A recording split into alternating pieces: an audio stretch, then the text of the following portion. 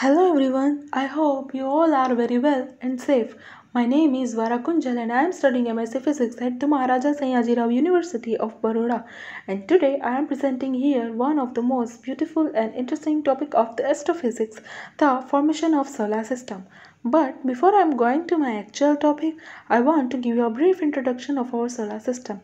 So let's start the journey of our beautiful solar system. First is the sun. The Sun is type G2V yellow dwarf star and the age of Sun is approximately 4.6 billion years and the distance of Sun from the galactic center is 26,000 light years and the radius of Sun is approximately 6,95,700 kilometers and the mass of Sun is approximately 1.9884 into 10 to the power 30 kilograms. All planets are orbiting around the Sun. By nuclear fusion reaction, Sun produces a lot of energy. Sun produces a 3.846 into 10 to the power 26 joules per meter square energy per second. Now the layers of sun. There are six layers of sun. First is core where the nuclear fusion reaction takes place and the temperature of core is 15.7 into 10 to the power 6 kelvins. Second is the radiation zone which is the temperature 2 into 10 to the power 6 kelvins. Third is the convection zone which is the temperature 6273 kelvins. Fourth is the photosphere which is the temperature 5800 kelvins. Fifth is a chromosphere which is a temperature 6000 to 50000 kelvins and last one is a corona which is a temperature 1 into 10 to the power 6 kelvins. Now, there are a total 8 planets, 205 moons and solar debris are present in our solar system. In 8 planets are categorized in a two type. First is terrestrial planets which are also known as rocky planets or inner planets. Second is Jovian planets which are also known as gas or ice giants or outer planets. There are four terrestrial planets. First is Mercury, second is Venus, third is Earth, and fourth is Mars. And four Jovian planets. First is Jupiter, second is Saturn, third is Uranus, and fourth is Neptune. Here, Jupiter and Saturn both are gas giants, and Uranus and Neptune both are ice giants. Now, moons. Moons are the natural satellites of planets which orbiting around the planets. That is the list of all moons of each planet. Mercury have no moon, Venus have no moon, Earth have one moon, Mars have two moons, Jupiter have 79 moons, Saturn have 82 moons, Uranus have 27 moons and Neptune have 14 moons. And the biggest moon of the solar system is Ganymede, which is the moon of Jupiter. Now, what is solar debris? Solar debris are the material which was felt to become a planet at the time when solar system formed. In our solar system, there are three types of debris. First is asteroid, second is the meteoroids, and third is comets. Now, what is asteroids? Asteroids are a very large sized rocky object which are orbit around the sun. Most of the asteroids are orbiting around the sun between the orbit of Mars and orbit of Jupiter, which is also known as asteroid belt. That is the image of asteroid belt and that is the image of most famous asteroid Vesta. Now, Meteoroids. Meteoroids are a small pebble-sized object which are the small pieces of asteroids or comets. They are also known as fireballs because when they enter in our Earth's atmosphere because of the friction of atmosphere, they get burned and become shiny. So if we see them in a night sky, they are look like a shooting star. Now, comets. Comets are cosmic snowballs of frozen gas, rock, and dust which are orbiting around the sun in a hyperbolic orbit. That's the image of comet. There are two reservoirs of comets in our solar system. First is a Kuiper belt which is located at the distance 10 to the power 3 astronomical unit from the sun and it contains 10 to the power 9 to 10 to the power 10 icy bodies. That is the artistic image of Kuiper belt and second is Oort cloud which is located at the distance 10 to the power 5 astronomical unit from the sun which contains approximately 10 to the power 12 to 10 to the power 15 icy bodies. This is the artistic image of Oort cloud. Now our solar system is really very large. So how the whole solar system was formed, how the terrestrial planets were formed, how the all Jovian planets were formed, and why they have a giant like structure. Why the terrestrial planets have a rocky surface while Jovian planets have a gaseous or icy surface. Why the outer planets are bigger than the inner planets. There are lots of questions and now I am coming to my actual topic the formation of solar system. Do you know who was the first person who tried to explain the origin of solar system? He was one greatest mathematician whose name is Rene Descartes. Rene Descartes was the first person who proposed a model for origin of solar system in his book Le Monde, which he wrote in 1632 and 1633. According to him, the universe was filled with the vortices and swirling particles. His model introduced three different kinds of elements which are luminous, transparent, and opaque. Sun and planets were made up by these all elements by condensation and by contraction. He explained the circular motion of planets. He was right track with the condensation and contraction, but it was not explained in scientific way. And according to modern science, now we know that the matter is not behaves in this manner. After him, Immanuel Kant gives his theory in 1755. He was the first person who proposed about the nebular theory. So, what is nebula? Nebula is the giant cloud of gas and dust in a space. Some nebulae are comes from the gas and dust thrown out by the explosion of dying star like supernova. Other nebulae are the region where the star forming takes place and there are five types of nebula. First is emission nebula, second is reflection nebula, third is dark nebula, fourth is planetary nebula and fifth is supernova remnant. Now, according to his assumption, a nebula in the center of which the sun is placed due to the gravitational force, the rest of the matter will rotate around the sun. Because of the influence of mutual collision, one of the disks will be formed, where all particles are rotating around the sun. Next step is condensation, which shows that the matter in a disk condenses into some larger bodies which become a planets in future. But he was failed to explain about mean distance of planets from the sun, mass distribution, and mainly the distribution of angular momentum. After him, Pierre Simon Laplace he modified Kant's theory in 1796. According to him, the sun is surrounded by the hot gaseous atmosphere where gradually cooling, thus the contraction occurs and further processes like condensation of matter occurs and it form a planet. But he was also failed to explain the angular momentum distribution. In other words, he was unable to solve the angular momentum problem. Now, after him, Kristian Olaf Bernhard Birkeland. He was first tried to explain the origin of solar system by using magnetic effect in 1912. But his theory could not be maintained because of the solar magnetic field is not strong enough to produce the desired effect after him, the Berlage gave his theory, which was quite same as the Birkeland's theory, but instead of magnetic field, he was taken electric field on account. But these both theories were failed to solve the angular momentum problem.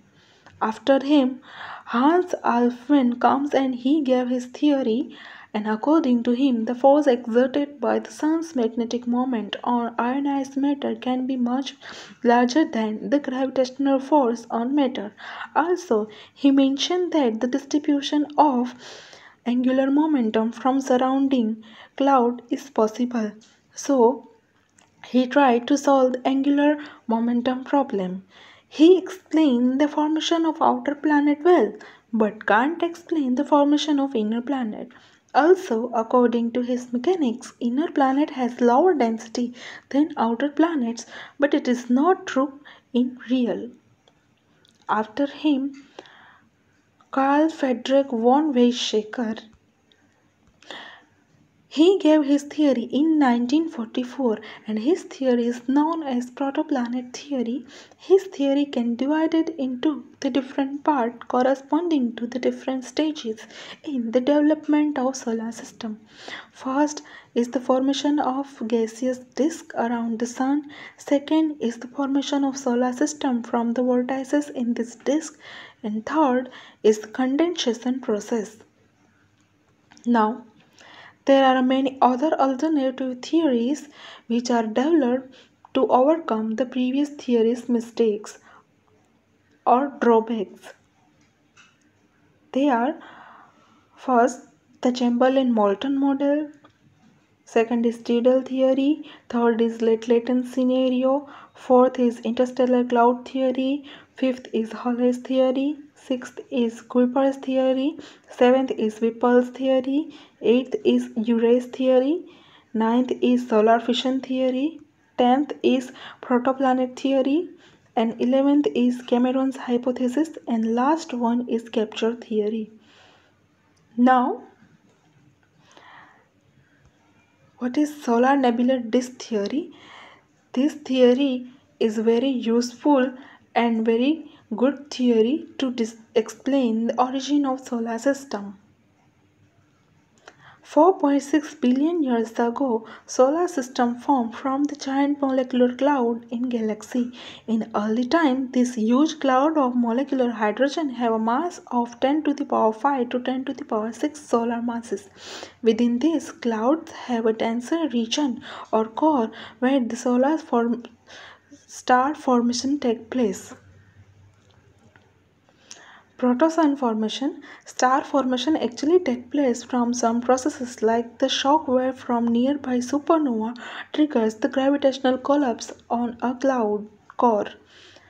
Material falls towards the center of the core under its own self-gravity and massive object begin to grow at the center of cloud which is heated by gravitational potential energy of the infalling material the object becomes self-luminous which is known as protosun.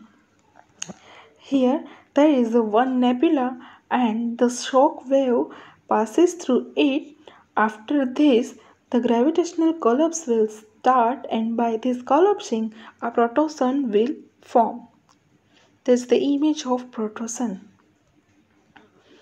Now but central pressure and temperature are not high enough to ignite nuclear fusion.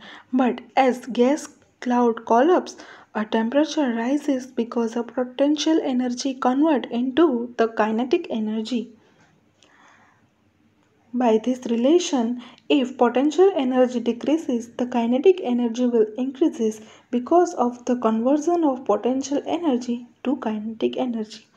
And now by this equation, if kinetic energy will increases, the temperature will also increases because the kinetic energy is directly proportional to the temperature.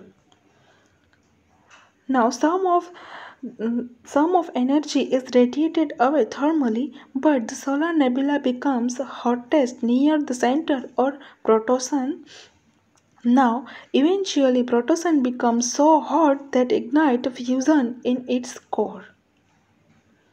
Now disk formation. As collapse occurs, the nebula spins up to conserve angular momentum and disk will form because of the gravitational collapse of nebula.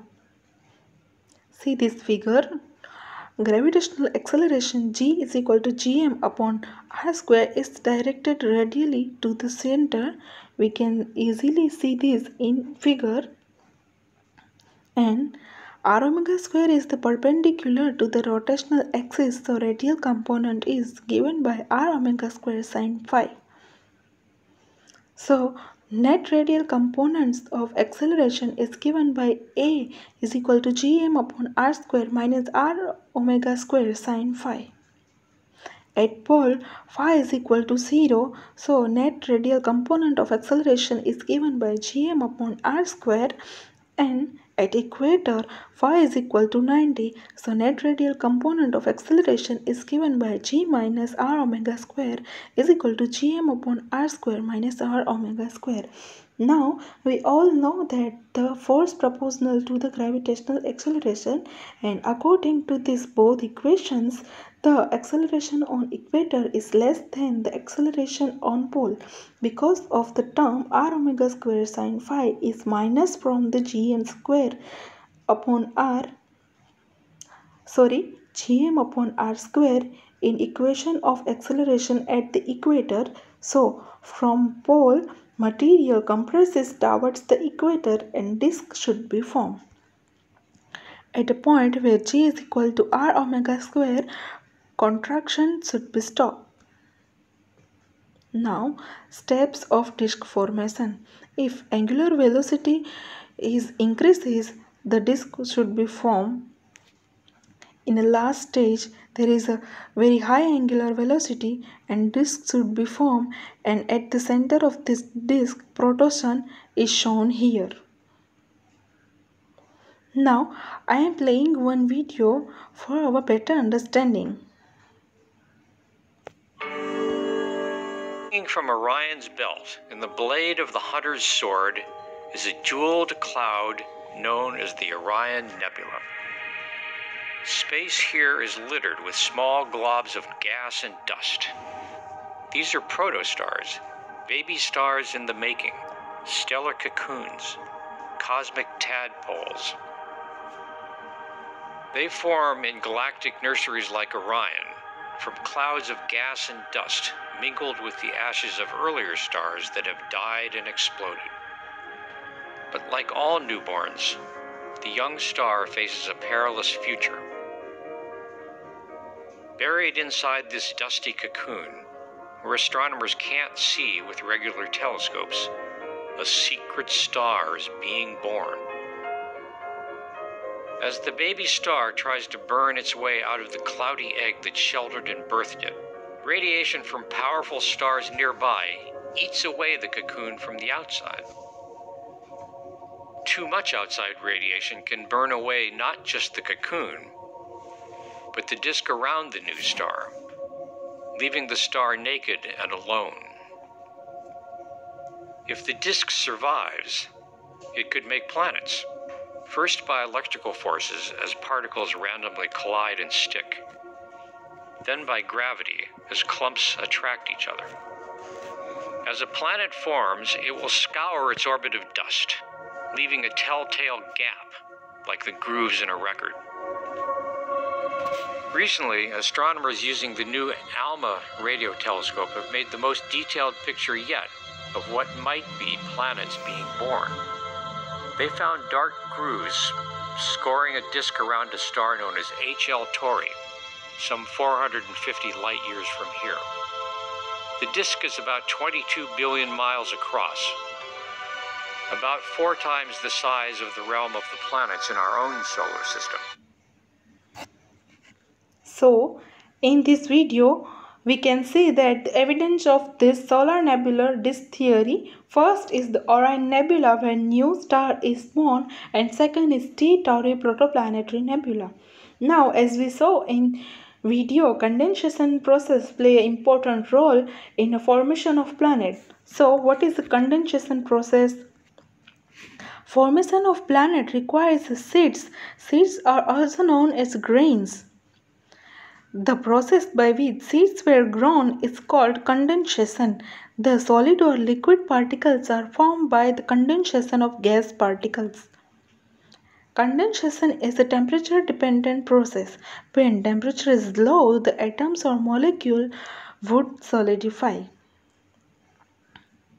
Here, temperature variation in solar nebula is given by T is equal to 631 by R to the power 0.77 and the ice line or frost line is situated where the temperature become 273 kelvins. Today frost line is at approximately 5 astronomical unit from the sun. In a previous slide, we show that the condensation process take place rapidly where the temperature is low. So according to this equation, T is dependent on R and there is frost line where temperature becomes 273 kelvins. After this frost line, area of outer planets are stars and because of low temperature outer planets are grow rapidly as compared to the inner planets. Because of a temperature T is greater than 400 kelvins the inner planets mostly made by silicates and materials but at the temperature T is less than 30 kelvins the outer planets mostly made by silicates and ice now, accretion process. Accretion is the growth of grains through collisions, which is also called the planet building process. Accretion proceeds in a two ways. First is the collision due to the geometric cross section or a direct impact on seeds. Second is collision due to the gravitational accretion. Here, objects from the geometric accretion are called planetesimals, act as seeds for planet formation. Second step is after a few million years, a planetesimals had grown to few kilometer size because of the collisions with each other. Third step is after these collisions become destructive, make a further growth more difficult because here the geometric accretion cross section becomes low. And fourth step is after this the gravitational accretion begins to dominate and then this accretes planetesimal to form a protoplanets. Now, terrestrial planet formation. Accretion in the central plane of solar nebula can account for the growth of planets from the interstellar grains in the inner region of the solar nebula close to the sun because of the higher temperature it would vaporize icy and organic grains leaving only silicate grains to form protoplanets sorry, to form the planetesimals which eventually merge to form terrestrial planets. Now, Jovian planet formation, there are two hypotheses to explain the formation of outer planets. First is core accretion theory and second is disk instability theory. But core accretion theory is good theory than disk instability theory to describe the Jovian planet formation. Now first step is at larger distance where the nebula was cool, organic and icy grains would condense and this would be combined with the silicates to form the core of giant planets core of the giant planets grown faster than the terrestrial planets. At some point, the growing cores of giant planets will become sufficiently massive to begin capturing hydrogen and helium directly from the nebula. And because of the lower temperature in the outer planet zone, the giant planets were able to retain the gas and continues to grow even larger. Important graphs. In this graph, we see that the temperature decreasing with in uh, distance increasing. And this graph, we can see that the density of planet and according to this graph, the density of Earth is very large and density of Saturn is very small. Now last stage is clearance of debris. Clearance of debris is the last stage of wall process. This was done by the scattering process. Here, the terrestrial planets are too small to eject the object out of the solar system, so they can scatter object to Jupiter and encountering orbits where the Jupiter will quickly dispose of them. Here, the giant planets are too large and also their gravitational field is too strong. Because of this, there are they are eject the debris out of the solar system maybe in Kuiper belt or Oort cloud. Now, unsolved fact of the solar nebula disk theory. First, there is a problem with the axis tilt of planets because according to this theory, all planets have a same axis tilt but it is not true. Second is a formation time scale of outer planets. The time scale predicted by this theory to form outer planet are larger than the actual time scale. And formation of planetesimals is not well explained by this theory. And last is the orbital migration of giant planet the orbital migration of giant planets is not explained that why jupiter has an inward inward migration and most uh, all planets have inward or outward migration. Now, these all are the stuff and this uh, very beautiful theory, sorry, very beautiful, no, very useful theory to explain the origin of solar system and uh, so here I am give you a reference which I used to make this presentation and at last thank you to hear me.